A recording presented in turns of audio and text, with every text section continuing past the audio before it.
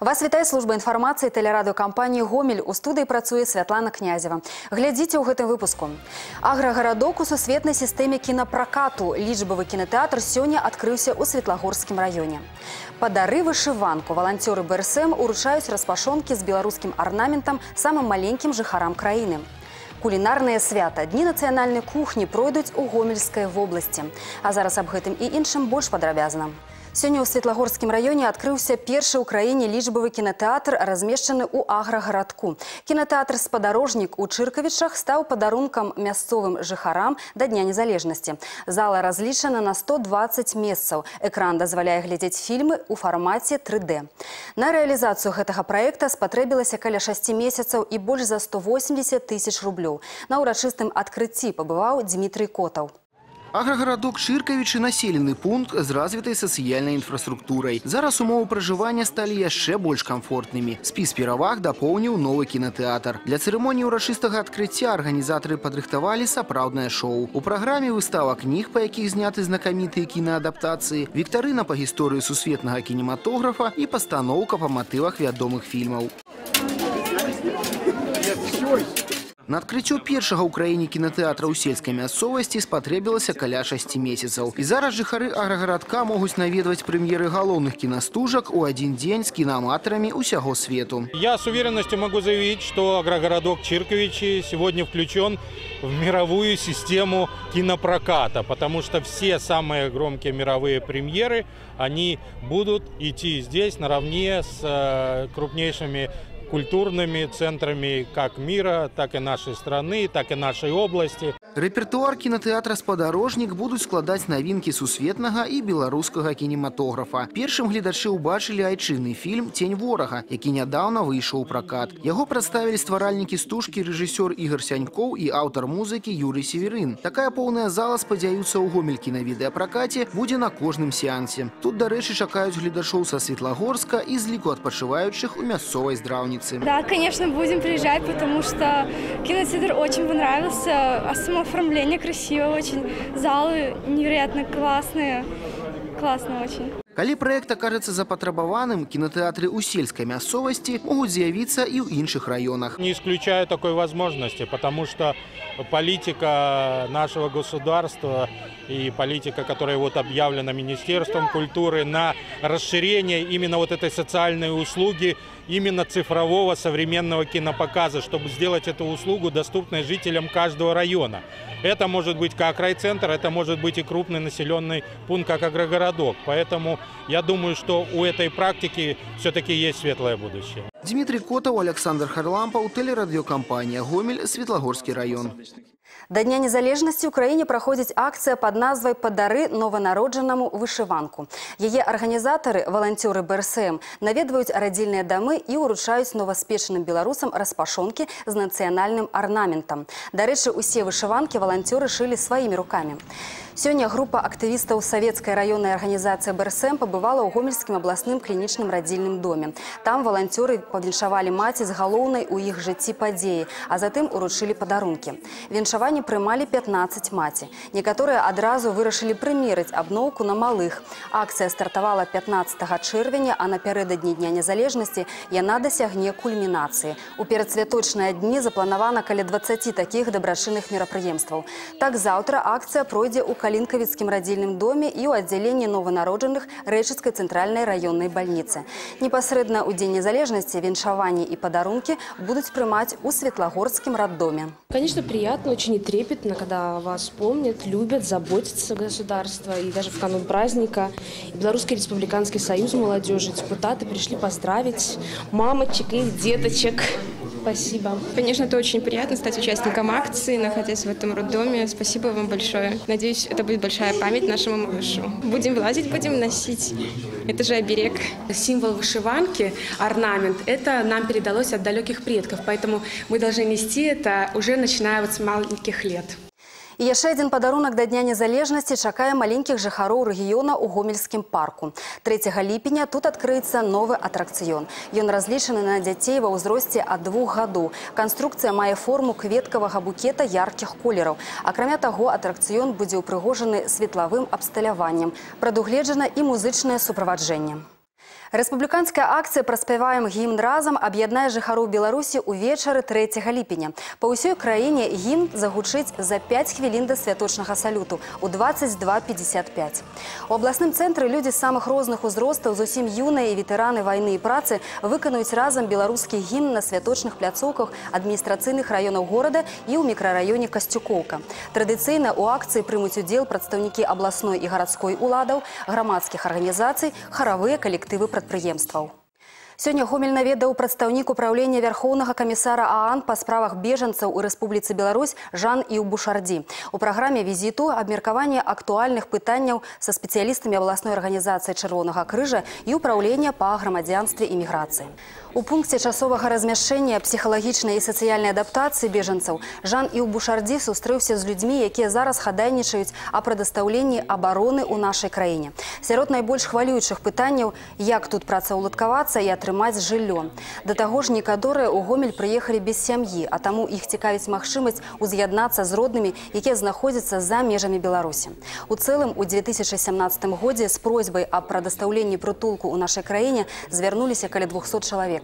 Агульная колькасць людзей, якія знаходзяцца ў падпарадкаванні агентства ААН па справах бежанцаў і пражываюць у Беларусі, складае больш як 8 тысяч чалавек. Это стандартный регулярный наш визит. Последний раз мы были здесь чуть более трех месяцев назад. Мы должны проводить работу, прежде всего встречаться с теми подопечными, которым мы оказываем помощь, с кем мы занимаемся. И, безусловно, это встреча с партнерами для того, чтобы выяснить, какие развития событий по тем или иным вопросам. Ситуация на самом деле стабильна в том плане нашей, если мы берем контекст нашей работы, то она более лучше, чем это было в 2014-2015 году. Я считаю, что это хорошие новости.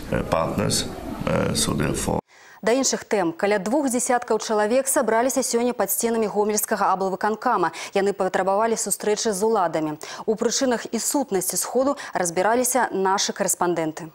отказываются принимать жалобы от населения. Пераважную большасць людзей, якія сёння сабраліся пад сценамі аблвыканкама, гомельскія журналісты ведаюць добра. Сустракацца прыходзілася падчас прыёмаў прадстаўнікоў улады на судовых пасяджэннях, у многіх нават дома былі. Для такіх людзей звычайна выкарыстоўваюць народны тэрмін штатны скаржнік. Яны дзесяцігоддзямі пішуць звароты ў розныя інстанцыі. З праблемамі разбіраюцца чыноўнікі, журналісты і суды. Ёсць нават выпадак, калі адзін чалавек звяртаўся да суддзяў не больш не менш як 15 разоў. Аднак у апошні час склалася цікавая сітуацыя. Гомельскія скаржнікі неверагодным чынам арганізаваліся ў групу. Сённяшні сход пад аблвыканкамам стаў іх другім сумесным мерапрыемствам. Практычна той жа састаў пабываў на прыёме ў старшыні аблвыканкама. Владзімир Дворнік выслухаў кожнага і даў даручэнне зноў сабраць камісіі, сумесна разгледзець магчымасці дапамагчы тым, хто шукае адказы на свае балючыя пытанні. Аднак з 11 разгледзеных пытанняў па 9 ўжо прынята рашэнне судовых інстанцый. Все службы облсполкома внимательно рассматривают поступающие обращения. Вместе с тем следует отметить, что часто граждане э, обращаются с вопросами по несогласию с судебными решениями, которые приняты не в их пользу, в том числе и высшей инстанции. На территории Республики Беларусь действует законодательная, исполнительная и судебная власть.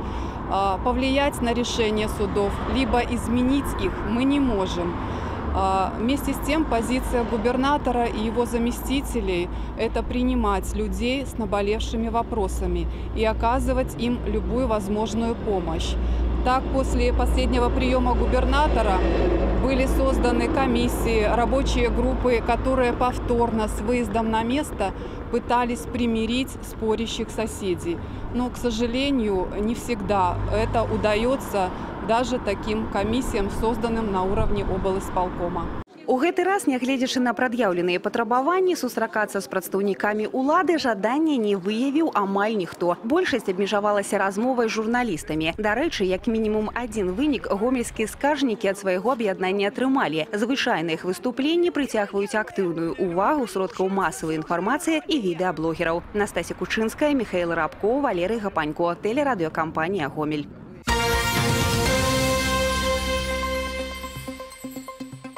У гэтыя дні ў гомелі праходзіць міжнародная навукова-практычная канферэнцыя па пытаннях выкарыстання новых палімерных матэрыялаў. Яе ўдзельнікі навукоўцы з 10 краін. З дакладамі выступяць вучоныя з Беларусі, Украіны, Азербайджана, Эстоніі і Германіі. Сфера прымянення палімерных матэрыялаў вельмі шырокая ад побыту да прамысловасці. У прыватнасці распрацоўкі беларускіх навукоўцаў выкарыстоўваюцца для патрэб чыгункі. Інтарэс да іх праяўляюць і замежныя краіны. У Расійскай Федэрацыі зараз актыўна ідзе будаўніцтва хуткаснай чыгункі. І тут могуць спатрэбіцца новыя палімерныя матэрыялы, распрацаваныя ў Беларусі. Іншы важны накірунак их выкарыстання – промысловая вытворчасць. Примечательно еще то, что на данной конференции присутствуют представители промышленных предприятий. Например, Светлогорского химволокно, других предприятий. Это очень важно, потому что состоится действительно диалог и научных работников, и промышленников для того, чтобы те достижения, которые сегодня в этом направлении э, получены, они дошли до непосредственно промышленного применения на, в реальном секторе экономики. У гомелі сёння прайшоў конкурс прафесійнага майстэрства вадзіцеляў спецтранспарту арганізацыі жыллёва-камунальнай гаспадаркі. Такое спаборніцтва правялі ўпершыню. За права звацца лепшымі ў прафесіі спрачаліся вадзіцелі аўтамабіляў смеццявозаў. Усяго 11 чалавек. Усе пераможцы рэгіянальных этапаў. Акрамя майстэрства была яшчэ адна ўмова – адсутнасць парушэнняў правілаў дарожнага руху. У праграме агляду конкурсу два этапы. У класе канкурсанты здавалі тэорыю правілы дарожнага руху і устройства аўтамабіля. Пасля практыка, манеўраванне і выгрузка кантэйнераў. Дарэчы, да складаных задач па кіраванні аўтамабілем вадзіцелі прызвычаіліся. Працаваць прыходзіцца ў гарадскіх дварах, якія нярэдка вельмі шчыльна застаўлены аўтамабілямі, а таму практычны тур зрабілі не самым простым. Так што перамога дасталася сапраўды лепшым. Опытному водителю будет пройти этот этап непросто. И действительно, потому что сегодня мы видим, что и стесненные условия, и по условиям даже вот будет поднятие а, и опускание того же контейнера, э, надо он, чтобы в габариты вошел. Дні беларускай кухні пройдуць у гомельскай вобласці. Яны распачнуцца ў дзень незалежнасці і працягнуцца паўтара тыдні. У гэты час у кафэ і рэстаранах рэгіёна можна будзе заказаць нацыянальныя стравы, прыгатаваныя ў лепшых традыцыях кулінарнай Беларусі. Нацыянальная кухня нашай краіне пачала развівацца шмат стагоддзяў таму, а некаторыя рэцэпты дайшлі і да нашых дзён. Вядома, галоўным інгрэдыентам большасці такіх страў з'яўляецца бульба. Дранікі, клёцкі, ведзьмакі, бульбяныя запяканкі, бабка, туш тушаная бульба з мясам або грыбамі. У дні нацыянальнай кухні успомняць не толькі вясковыя стравы, але і делікатэсы, якімі ласаваліся асобы княжацкага роду. Прычым у кожным рэгіёне асобным прапануюць стравы, якія былі ўласцівы канкрэтнай мясцовасці. Дарэчы, падобныя акцыі не новыя для гомельшчыны, аднак раней установы грамадскага харчавання праводзілі іх па сваім меркаванні асобна. На гэты раз акцыя атрымала фармат флэшмобу. Да яго далучацца больш за 20 кафе і рэстаранаў вобласці. Прычым прапановаць стравы беларускай кухні яны будуць па спецыяльных зніжаных ценах. История нашей белорусской кухни, она, конечно, формировалась издревле, и есть большое количество тех блюд, которые отличаются уникальностью и тем, что они созданы в наших деревнях, самобытны достаточно, и они не встречаются, наверное, такой высокой кухни. И для того, чтобы вот рассказать всем нашим жителям, которые вот будут принимать участие и дать возможность не просто узнать, что есть такое блюдо, а вот именно попробовать. Э, конечно же, вот в первую очередь вот для этого и мы проводим эти дни. 30 чэрвеня і 1 ліпеня ў гомелі адбудзецца кірмаш прысвечаны стагоддзю беларускага рэспубліканскага саюза спажывецкіх таварыстваў і дню кааперацыі. Пакупнікоў чакаюць з 9 до 16 гадзін на гомельскім цэнтральным рынку. Будзе прадстаўлены шырокі выбар плодагароднінай прадукцыі, фруктаў, ягад і грыбоў. Таксама ў асартыменце прадукцыя вытворчасці гомельскага абласпажыўсаюза, мяса і мясныя паўфабрыкаты, рыба, кандытарскія вырабы. Запланаваны скідкі і акцыйныя прапановы. Уважаемые жители города Гомеля, гости, 30 июня и 1 июля на территории Гомельского центрального рынка Гомельский употребсоюз будет проводить ярмарку, где будет представлена продукция э, в широком ассортименте, которая производит система потреб кооперации. Мы приглашаем всех за покупками. Цены, качество вас приятно удивят. Абласная арганізацыя беларускага таварыства чырвонага крыжа сумесна з дзяржаўтаінспекцыяй сёння ратавалі гамельчан ад спякоты. У гомелі на плошчах паўстання і Леніна, а таксама каля кінотэатра Кастрычнік былі ўстаноўлены палаткі чырвонага крыжа. Тут можна было атрымаць пітную ваду і вымераць артэрыальны ціск. Высокая тэмпература паветра можа выклікаць праблемы з самаадчуваннем. Спецыялісты чырвонага крыжа расказалі пра правілы аказання першай дапамогі. Супрацоўнікі дзяржаўтаінспекцыі раздавалі вадзіцелям памяткі з карыснымі парадамі парадамі. На гэтым выпуск завершаны. У студыі працавала Святлана Князева. Усяго добрага і да сустрэчы ў эфіры.